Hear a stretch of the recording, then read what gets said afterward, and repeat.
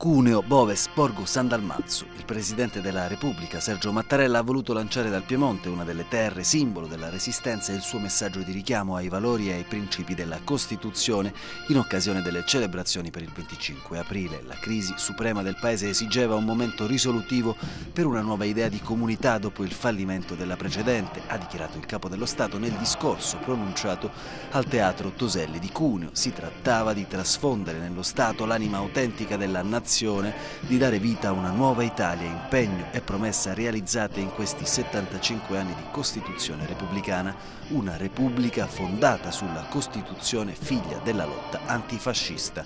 Il discorso di Mattarella è stato più volte interrotto dagli applausi del pubblico in platea e nei palchi, dove erano presenti anche 200 sindaci del Cunese, oltre che i ministri del turismo, della difesa e per gli affari regionali e le autonomie. Successivamente il capo dello Stato si è spostato a Borgo San Dalmazzo dove ha visitato il memoriale della deportazione costruito accanto alla stazione da cui partirono una serie di convogli diretti ad Auschwitz e infine a Boves, teatro del primo eccidio nazista in Italia, dove morirono 25 persone e furono bruciate 350 abitazioni.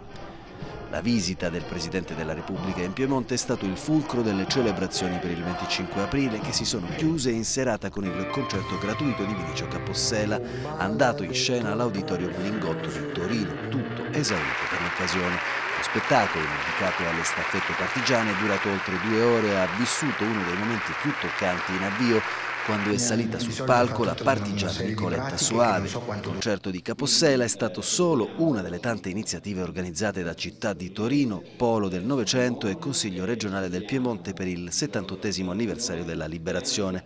Proprio al Polo del Novecento si è svolto il concerto Ezio Boss The Four Letters, una produzione originale ispirata alle lettere di quattro partigiani condannati a morte tra il 43 e il 44.